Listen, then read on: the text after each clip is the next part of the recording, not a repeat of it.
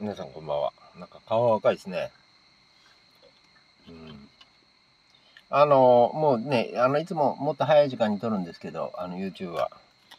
あの、今日は珍しく遅い時間になりましたが、それには訳がございまして、実はですね、今回お話ししたいお話っていうのはですね、あの、仮払い機とメガネっていう話をして。えっ、とですね、私はですね、あの、レンコンのね、レンコンの、あの、ハス田とかいうのかな？レンコンの田んぼがあるんですよ。で、そこは、あの、ちょっと失礼してタバコをいただきますが、あの、ハスがちゃんと正常に生育してれば、あの、ハスの葉っぱっていうのは大きいんで日陰を作るんで、あんまりじょ、あの、草が生えないんで、そこまで除草はね、手がかからないんですけど。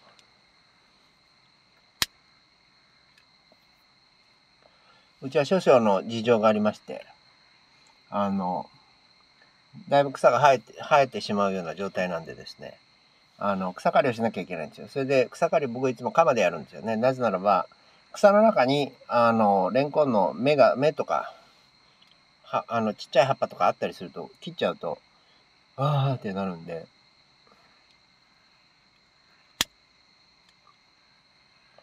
それを避けるために、よく見なきゃいけないんで、枯れ払い機だとやっぱ枯れ払い機って危ないんで、長いんですよね、竿が。だからよく見えないんで、鎌でやるんですよ。ね、鎌の方がね、いろいろ微調整もできるし。でもその鎌、長年使ってた鎌がね、壊れてしまいましてですね、もっと、あの、厳密に言うと、鎌の柄の部分が、本体はね、いいものっていうか、まあ、刃ですよね。で、柄がありますよね。あれは木ですよね。でそこはね、壊れてしまったんですよ。ただ外れたかったら直せんだけど、もう割れたっていうか。で、で、私がいつも草刈りをするときは、短パン、サンダル、袖なしで、メガネせずやるんですよ。草刈り。まあ、鎌ですからね。まあ別に何も飛んでこないしね。それで、あの、まあでも、鎌がないからしょうがないから仮払い機でやるかと。仮払い機でやろう。で、仮払い機なんだけど、メガネを仮払い機はするんですよね。もう厳密に言うともっと手袋とかもするんですよね。もうもっと言うと、あの、エプロンする人もいますね。僕なんかだから、別にいい悪いじゃなくて、あの、短パン、サンダル、ね、袖なし。で、メガネだけして仮払いやるんですけど、ちょっと、ちょっと待てよと。メガネって言うけど、その全身あるわけですよね。その中で、あの、この目玉に当たる確率って、どのぐらいの精度っていうか、どのぐらいなんだと。えーと、そんなのね、めったにないんじゃないのかなと思ったんですよ。で、あの、よく見ないといけないんですよね。その、あの、レンコンの目を借りたくないから。だから見なきゃいけないし、サングラスすると、ね、あの、よく見えないし、まあ、ね、まあ、その時はその時だろうと思って。メガネしないで仮早きでやってたんですよ。そしたらね、一回パーンと飛んできて、足の、この、なんて言うんですか。僕ね、こういう単語弱いんですよね。足のね、膝から下の、なんて言うんだろう、これ。すねじゃない、すねすねかな。すねですよね、要は。多分。そこにね、パーンと石が当たってね、もうパカーッと開いたんですよ。で、血がブーって、ダーって流れたっていう。で、開いたと思ったんですけど、まあ、ね、このぐらいだったらね、わざわざね、そのズボン履いて別に、そのほら、服と違って、あの、皮膚って治りますからね。こんな私みたいに53になっても、時間経てば治るんでですね、血もね、止まるし、そういう、ね、そんな別に、まあこんなこともある、まあ痛いですよ。痛かったですけど、まあこんなこともあるかなと思って、そのまま続けたんですよ。それでやってるうちに、ちらっと頭にもし、石がすごい確率で目に当たったら、どういうことが起きるか。例えば失明とかするとするじゃないですか。失明したら、あ、仕事休みになるな、と思って。ねあ、仕事休みになる。あ、それ、なんか、ね臨時休暇みたいで。まあ、有給は、まあ、まあ、有給、まあ、というか、いいじゃんと思ったんですよね。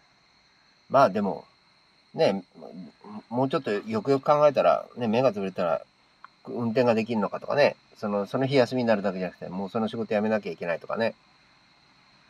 不便でしょだっていろいろ固めだとね。見た目はね、かっこいい時もあるけど、クイーンエメラルダスとか、キャプテンハーロックとかね、かっこいいこともあるけど。シルバー船長とかね。あの、要は、まあ、と思ってたんですよ。ね。サングラスしたらよく見えないし、あの、でレンコンの目をって言うと、あーってなるんですよ。だから、もう、それは避けようと。で、そのためなら、ね、目に当たるというリスクもね、どうせ、可能性からしたら少ないから、ね、まあ話が読めるようで申し訳ないんですけど、と思ってやってたら、コーンと来てですね、あ 早くも。来た。ってですね、もうコーンと来てね、石がうまい具合に。は左目に当たりました。で、あ、これダメかもしれん。と思って、まず手を見て、あ、血が出てない。ね、血が出てない。ああ、よかったね。で、見えるかなと思ったら、まあ、なんとか見えたんですよ。痛かったけど。で、それ次に思ったのが、これ、あの、サングラスしてたら、サングラス壊れてたじゃん。と思ってそさっきの服の話と一緒ですよ。あの、服は破けたら自分で治らないけど、あの、ズボンか。ズボンが例えば石が当たって破けたら自分で治らないけど、足だったらね、治るじゃんっていう話。ホメオステイシスって言うらしいですよね。英語ではね。で、目も、まあ、失明したら終わりだけど、治るじゃんって。それを考えたら、サングラスしてたらサングラスが壊れたかもしれないから、サングラス壊れたらね、壊れたサングラスして臭かったらもう、なんか何やってんのかわかんないんで、まあだからしてなくてよ正解かなと思ったんですよ。それがね、我ながらね、まあ、愚かとは思わないけど、まあ変わった考え方をする人やなと思いましたね。で、じゃあ次もサングラスしないで、あの、草刈るんですかって言われたら、えっ、ー、とね、あの、よく見なきゃいけないようなところは、あの、あその後買ったんですよ、鎌を。しょうがないから。まあ、直せば直せるんでしょうけど、まあ、それ、もうそれよりも今、夏なんで、どんどん生えてくるんです。まあ、それは、暇な時にやればいいんで。とりあえず買いました。なんで、とりあえず、よく見て刈らなきゃいけないようなところは、買っちゃいけないようなものが混ざってるようなところは、鎌で刈る。で、買っちゃいけないようなものがないような、もう何を切ってもいいって、まあ、カエルなんか切ったらかわいそうですけど、ようなところは仮払い機だ。その時はメガネをす。ただ、ズボンやらそういうなんか、ね、手袋やらはもういいでしょうと。ね、もう53残り少ない人生ね。いいでしょう。ただ、目はね、やっぱりね、目が潰れてしまうと、いろいろ、まあ、片目残るとしてもですよ、両目に来る確率ってすごい、ね、3連単ぐらいの確率なんでしょうから。片目としても、やっぱりそれはね、ちょっと、まあ、ね、それこそ今風の言い方で言うと、コストパフォーマンスですよね。が良くない。だからメガネをしようっていう。